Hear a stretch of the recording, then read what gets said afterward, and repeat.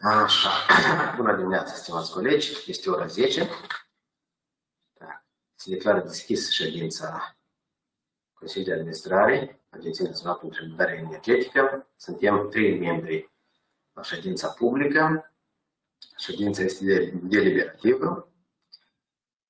Sub aspect tehnic suntem pregătiți. Așa. Toți participanții invitații au acces Alexandru. Da, noi am verificat cu toții, toți au acces, să aude bine, totul e bine. Maximum. Bine. Așa. Se declară deschis ședința ANRE. Pe ordine de zi avem trei subiecte, stimați membri Consiliului, dacă sunt obiecții asupra ordinii de zi, propuneri. Nu sunt, spun votul proiectul ordine de zi cu trei subiecte. Cine este pentru, votați. Vot unanim, vă mulțumesc foarte mult primul subiect în ordine de zi este prețul reglementat pentru energie electrică furnizată de furnizorul central de energie electrică, raportor colegul nostru, Alexandru Usu. Alexandru, îți oferim cuvântul pentru a prezenta proiectul de hotărâre și nota informativă. Mulțumesc mult, domnule director, stimați membri ai Consiliului de Administrație, stimați participanți la ședința publică. În temeiul prevederilor articolul 7 alineat 2, litera D, articolul 80 și articolul 88 din legea uh, numărul 107 cu privire la energie electrică și a metodologiei de calculare, aprobare și aplicare a prețurilor reglementate pentru energie electrică furnizată de furnizorul central, aprobată prin hotărârea Consiliului de Administrație al ANRE numărul 483 din 13 decembrie 2017, ASA Energocom a prezentat în adresa Agenției Naționale pentru Reglementare Energetică materialele de aprobare a prețului reglementat pentru energie electrică furnizată de furnizorul central de energie electrică pentru anul 2020, solicitând mărimea prețului de 1,20 lei per kWh. Astfel, în conformitate cu prevederile punctului 8 din metodologia de calcul, Agenția actualizează prețurile în decursul anului dacă există factori obiectivi ce nu pot fi controlați de furnizorul central, care justifică o astfel de actualizare și care aduc la o deviere mai mare de 5% din costurile de furnizare a energiei electrice de către furnizorul central, în baza cărora a fost calculat prețul reglementat de furnizare în vigoare. Agenția în aceste cazuri ajustează prețurile în funcție de nivelul de influență asupra prețurilor a factorilor obiectivi. În baza informației prezentate de întreprindere și a aplicării prevederilor punctului 5 din metodologie de calcul, precum și urmarea analizei volumelor prognozate a energiei electrice produse de centralele electrice eligibile, care produc din surse regenerabile de energie, precum și a energiei electrice produse din centralele electrice de termoficare urbane, Departamentul Energiei Electrică și Regenerabilă a determinat prețul reglementat de furnizare în cuantum de 120 bani per kWh și propune Consiliul de Administrație al Agenției aprobarea acestuia. Factorul determinant care a cauzat diminuarea prețului propus spre aprobare cu 15 bani față de prețul în vigoare rezidă în formarea în decursul perioadei ianuarie-mai 2020 a unui surplus tarifar ce urmează a fi restituit sectorului, sectorului electroenergetic. Vă mulțumesc pentru atenție. Alexandru, mulțumesc foarte mult reprezentanții care au depus cererea, cine este, dacă sunt câteva obiecții. Așa, domnul director, vă rog frumos. Bună ziua, stimați, stimați domnul președinte, membri ai Consiliului.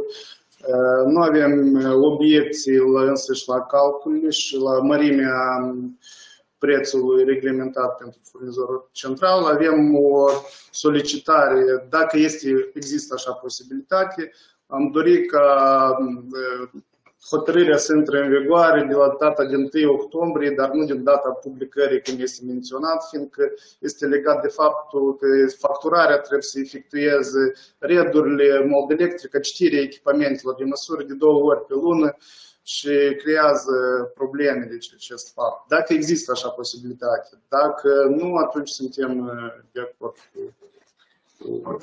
Acuși, vă mulțumesc, domnul Pitula. Alexandru? Care este?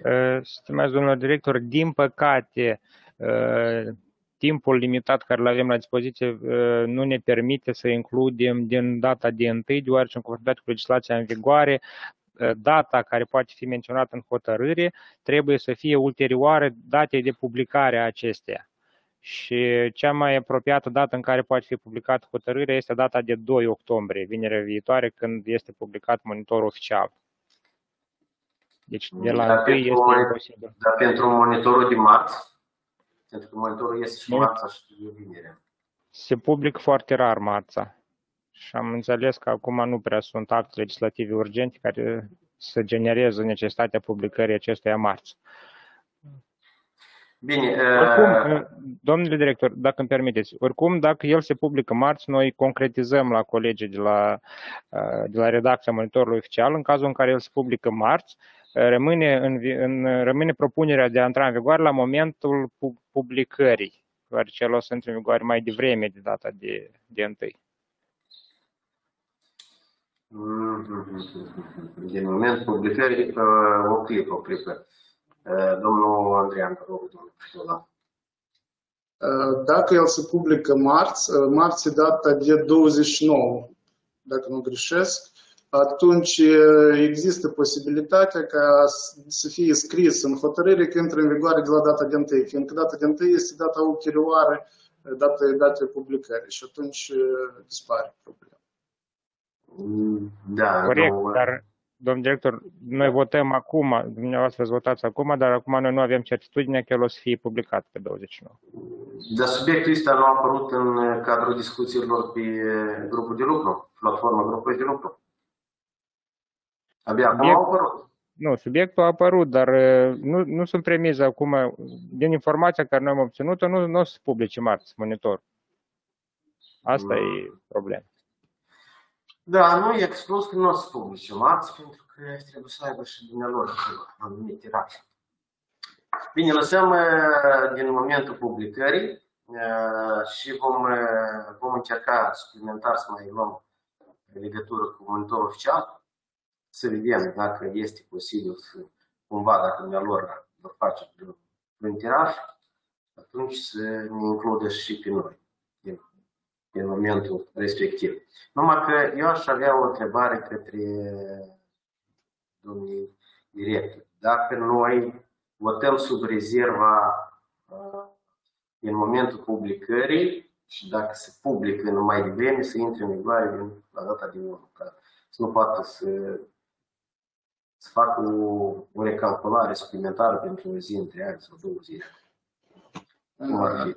Deci dacă se publică mai devreme și rămâne data publicării, deci pentru noi nu schimbă situația, fiindcă oricum trebuie să fie uh, de două ori citite date. Uh, Marți data de 29, deci oricum trebuie să fie citite și pe 29 și pe data de 30. Deci uh, nu schimbă situația pentru noi. Așa, mersi, domnul Plitură, domnul Octavian Calmut, vă rog. Da, bună ziua tuturor! Eu totuși încurajez toți uh, membrii Consiliului de Administrație să păstrăm textul care a fost propus de examinare din data publicării. În cazul cel mai corect, pentru că este incertitudine mare că marți nu o să fie nicio publicare, pentru că nu sunt premize pentru un monitor oficial suplimentar. Deci să lăsăm data publicării și deja operatorul o să acționeze conform deciziei luate. Mersi. Ok, bine. În cazul dat, eu susțin poziția noastră, domnul și propun ca să examinăm, să votăm în formula care a fost prezentată și a fost publicată pe site și a fost consultată cu public. Deci, Alexandru, de te rog citire proiectul de hotărâre. Consiliul de Administrație al Agenției Naționale pentru Reglementare Energetică hotărăște. Se aprobă prețul reglementat pentru energie electrică furnizată de furnizorul central de energie electrică ESA Energocom în cuantum de 120 bani per kWh fără TVA. Se abrogă hotărârea Consiliului de Administrație al ANRE numărul 128 din 14 mai 2020. Prezentă hotărâre intră în vigoare la data publicării. Prezenta hotărâre poate fi contestată în termen de 30 de zile la autoritatea emitentă. Mulțumesc, Alexandru. Stimați colegi, membri Consiliului de Administrare, supun votul proiectul de hotărâre. Cine este pentru, vă votați. Cu vot unanim, proiectul de hotărâre a fost votat. Vă mulțumesc frumos. Mulțumesc, Alexandru, Andrean, domnule director. Vă mulțumesc foarte mult. Așa, subiectul numărul 2 din ordine de zi, raportul Elena Stratulat, pentru modificarea regulamentului privind racordarea la rețele de gaz naturale și prestarea serviciilor transport și distribuție a gazelor naturale. Elena, te rog frumos, prezintă-ne proiectul de modificare. Mulțumesc frumos, domnul director. În temeiul, temeiul juridic de elaborare a proiectului hotărârii privind modificarea regulamentului privind racordarea la rețele de gaze naturale și prestarea serviciilor de transport și de distribuție este articolul 7, aliniatul 1 din legea cu privire la gazele naturale. În contextul adoptării și intrării în vigoare a unor acte de reglementare noi, precum ar fi codul rețelelor de gaze naturale, care a transpus codul de, de rețea europene, și, precum și regulamentul privind accesul la rețelele de transport al gazelor naturale și gestionarea congestiilor, ambele aprobate în anul 2019, a apărut necesitatea modificării corespondente și a regulamentului privind racordarea. Prin modificările propuse va fi facilitat accesul utilizatorilor de sistem la rețea și introdusă mai multă transparență în procesul încheierii contractelor dintre operatorii de sistem și utilizatorii de sistem. În continuare voi scoate în evidență câteva elemente noi introduse în proiectul regulamentului. Astfel, astfel sau regulamentul va include niște anexe noi care vor fi cu niște acte care vor fi utilizate de către operatorii de sistem în activitatea zilnică. Este vorba de actul de control în, în care va fi indicat uh, și datele privind citirea indicațiilor echipamentului de măsurare, uh, precum și clauzele obligatorii ale contractului de transport al gazelor naturale. De asemenea, procedura de încheiere a contractului de transport va fi modificată, dat fiind că acesta este un contract uh, privire la accesul la rețea, prestat în baza tarifelor reglementate. Astfel, solicitantul va pre, prelua proiectul contractului de pe pagina web a OST și va completa cu informațiile necesare și îl va transmite OST spre semnare, care avea, va avea la dispoziție circa 5 zile calendaristice pentru a, pentru a-l semna, în caz că sunt prezentate toate documentele necesare. De menționat că contractul respectiv va produce efecte doar la data completării și semnării anexelor la contract, ceea ce ține de cantitatea contractată, locurile de consum și în cazul contractelor de transport a gazelor naturale va fi indicată și lista punctelor de intrare-ieșire. În urma acestor modificări vor, vor câștiga atât consumatorii care vor avea posibilitatea mai lesne de a-și schimba furnizorul de gaze naturale, dar și unii furnizori care vor, și noi furnizori, care vor evita barierele birocratice și obstacolele care ar putea fi create de operatorii de sistem. Proiectul de modificare a regulamentului privind racordarea a fost consultat cu toate părțile interesate în conformitate cu legea privind transparența în procesul decizional.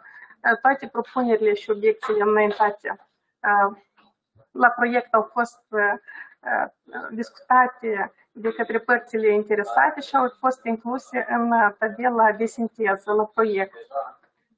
Și, de asemenea, proiectul a fost supus expertizei juridice, expertizei Centrului Național Anticorupție și a grupului de lucru pentru reglementarea activității de întreprinzător. Mulțumesc frumos pentru atenție! Mulțumesc, Elena.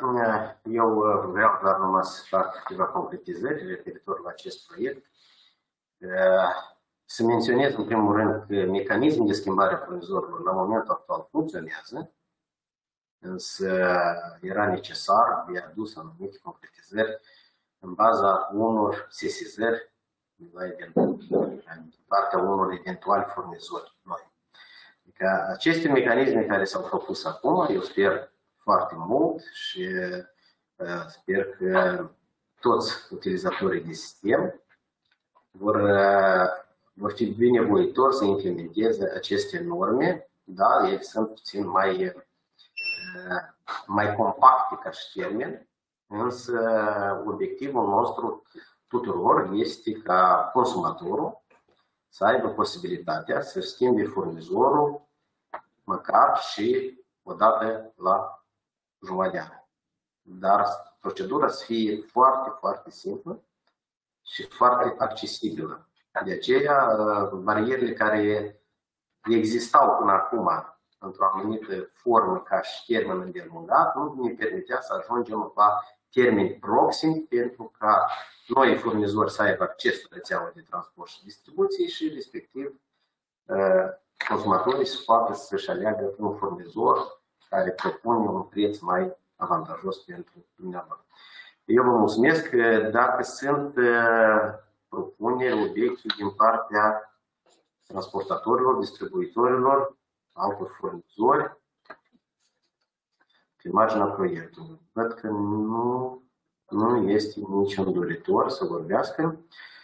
Asta înseamnă că grupul de lucru a lucrat foarte bine și au scos toate obiecțiile.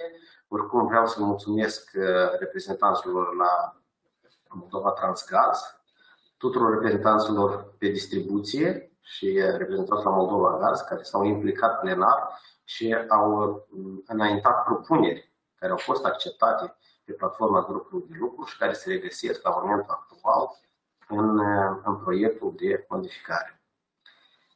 Da, da, încă o dată, Sergiu Cherpec, dorește și să vorbească? Este da, bună ziua, domnul director. Da, vă rog frumos. Aveți prezentați-vă, vă rog. Bună ziua, domn director, reprezentantă sa Moldova Gaz. Da, vă rog frumos. Noi dorim să mulțumim grupul de lucru pentru uh, munca și efortul depus în cadrul elaborării uh, și examinării propunerilor și acceptării propunerilor noastre inclusiv. Și uh, avem, dacă îmi permiteți, careva um, comentarii referitor la tabela de sinteză care ultima a fost prezentată și este pe site-ul Andrei. Am dorit dacă ne permiteți, să facem careva mențiuni la ceea ce nu s-a acceptat de către Andrei. Da, vă rog, sigur că da. Referitor la, la punctul 17, propunerea Moldova Gaz. Îi dau citire sau? Da, dați citire, vă rog, că nu toată lumea are acces la sinteză. Deci, în redacția actuală a proiectului, deci este indicat că se interzice furnizorului actual de gaze naturale, precum și operatorilor de sistem, să perceapă de la consumatorii finali orice plăți pentru schimbarea furnizorului de gaze naturale, pentru încheierea contractelor de furnizare a gazelor naturale sau să împiedice în vreun mod derularea procedurii de schimbare a furnizorului de gaze naturale de către consumatorul final. Deci SA Moldova Gaz a propus ca, după cuvântul actual, să se completeze cu textul și celui nou. Deci ideea care și Andrei a refuzat pe motiv că furnizorul nou este interesat să încheie cât mai multe contracte cu consumatorii noi și nu va percepe plăți. Dorim să tragem atenția asupra faptului că ar fi bine ca să aplicăm aici mecanismul de nediscriminare a furnizorilor, da? să fim pe aceeași poziție și nu noi sau alt. Deci furnizor, să fie clar consumator, deci este un moment doar de concretizare. Consumatorul să fie sigur de faptul că nu va percepe plăți niciun furnizor, nici alt furnizor.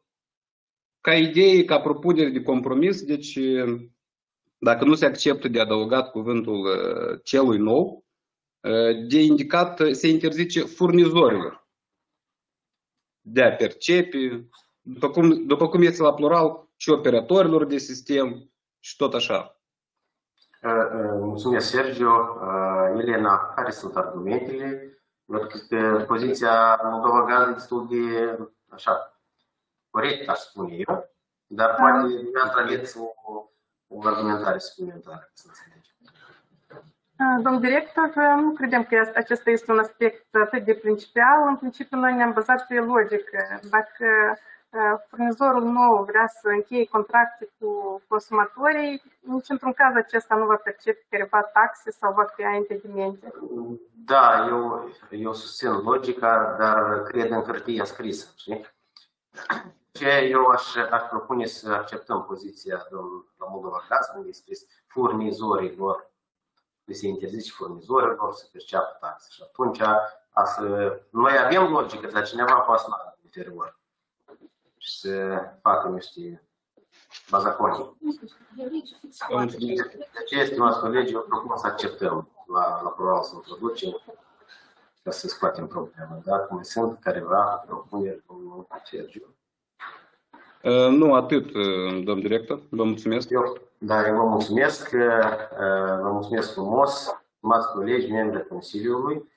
Așa, suntem gata. Uh, Elena, dă te rog citire la proiectul de hotărâre.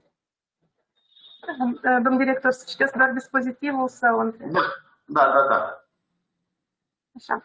Uh, Pentru modificarea regulamentului privind acord, uh, hotărârea Consiliului privind modificarea regulamentului privind acordarea la rețele de gaze naturale și prestarea serviciilor de transport și de distribuție a gazelor naturale. Uh, Consiliul de Administrație al Agenției Naționale pentru Reglementare Energetică hotărăște regulamentul privind acordarea la rețele de gaze naturale și prestarea serviciilor de transport și de distribuție a gazelor naturale aprobat în hotărârea Consiliului de Administrație al Agenției Naționale pentru Reglementare Energetică, numărul 112 din anul 2019, înregistrată la Ministerul Justiției cu numărul 1448 din 16 mai 2019, se modifică după cum urmează. Con- uh, și este textul, el e circa uh, 5 foi, uh, și controlul asupra executării prezentei hotărâri se pune în sarcina subdiviziunilor Agenției Naționale pentru Reglementare Energetică. Ok, stimați colegi, membrii Consiliului, stimați director, supun votul proiectul de hotărâre. Cine este pentru, vă votați. Cu vot unanim, proiectul de hotărâre modificare, privind modificarea regulamentului acordare la rețele de gaz natural și prestarea servicii de transport și distribuție a gaz natural a fost aprobat. Elena, mulțumesc. Trecem la următorul subiect în ordine de zi. Subiectul numărul 3, cu privire la aprobarea regulamentului prin procedură de schimbare a furnizorului de gaze naturale. Rog frumos, Elena, începe Mulțumesc. prezentarea. Mulțumesc, domn director. Uh, Temeiul juridic de elaborare a proiectului regulamentului privind procedura de schimbare a furnizorului în redacție nouă este articolul 88 aliniat 1 din legea cu privire la gazele naturale. În fond, comparativ cu regulamentul vechi, elaborat în anul 2014, în baza legii 123 din 2009, uh, proiectul nominalizat vine cu mai multe abordări noi, care vor permite optimizarea procedurii și termenelor de schimbare a furnizorului de gaze naturale. Astfel, procedura va fi foarte simplă pentru consumator, va fi suficient ca acesta să depună o cerere privind schimbarea furnizorului la furnizorul său actual și ulterior doar să fie prezent la citirea, controlul și citirea indicațiilor echipamentului de măsurare. În scopul asigurării respectării termenului legal stabilit pentru parcurgerea procedurii de schimbare a furnizorului stabilit în lege, care este de până la 20 de zile, furnizorii noi vor fi obligați să dispună de contracte pentru prestarea serviciilor de transport și de distribuție încheiate până la inițierea procedurii de schimbare a furnizorului de gaze naturale. Aceste modificări au fost realizate și în regulament, modificarea regulamentului privind racordarea. Furnizorii noi nu vor trebui să încheie contracte noi, doar să opereze modificările în contractele existente, în anexele 1 și 2 la acestea, care sunt prevăzute privind cantitatea contractată și lista locurilor de consum și, după caz, lista punctelor de intrare-ieșire. În continuare a fost redus numărul de etape necesare pentru schimbarea furnizorului de gaze naturale. Au fost optimizate termenele și de menționat că această procedură va fi unică atât pentru consumatorii finali cât și pentru utilizatorii sistemului de distribuție închis. De asemenea, a fost redus etapa emiterii și achitării facturii estimative prevăzute de regulamentul vechi, consumatorul va achita doar o singură factură în termen de două săptămâni de la schimbarea furnizorului. Data schimbării furnizorului de gaze naturale se va considera data întocmirii și semnării actului de control al echipamentului de măsurare de către operatorii de sistem.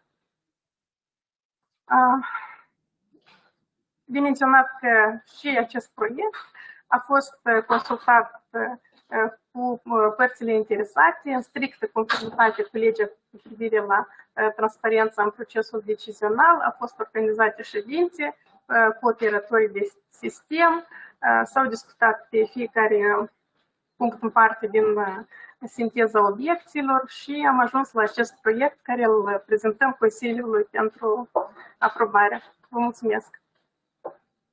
Mulțumesc, Elena.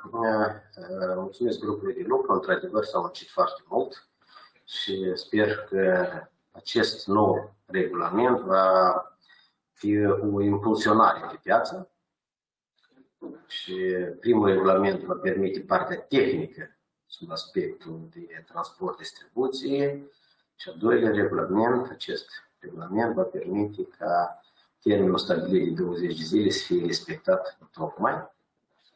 Aceea, dacă avem reprezentanții din domeniu și dorește cineva să ia cuvântul pe proiectul de regulament.